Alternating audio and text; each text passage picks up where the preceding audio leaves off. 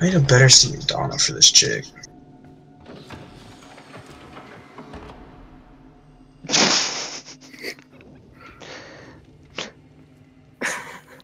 Bye, Felicia.